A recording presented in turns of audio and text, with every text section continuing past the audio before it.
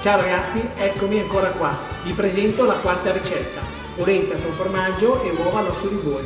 Per la ricetta di oggi eh, i nostri ingredienti sono un litro di acqua, 200 g di farina gialla, noi abbiamo usato quelle istantanee per motivi di tempo, ma da casa potete usare benissimo quella fresca, 200 g di formaggio, noi abbiamo usato della fontina e della cuccioccherina, ma da casa potete usare benissimo qualsiasi tipo di formaggio, l'importante è che fonde 50 g di formaggio grana, un uovo e due noci di burro.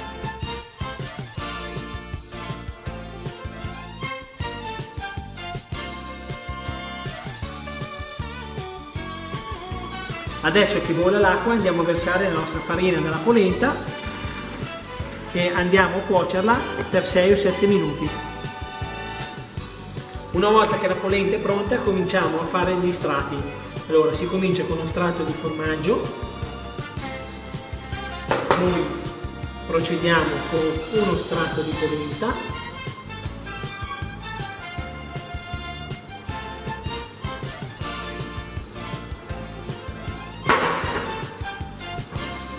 poi dobbiamo continuare con uno strato di formaggio.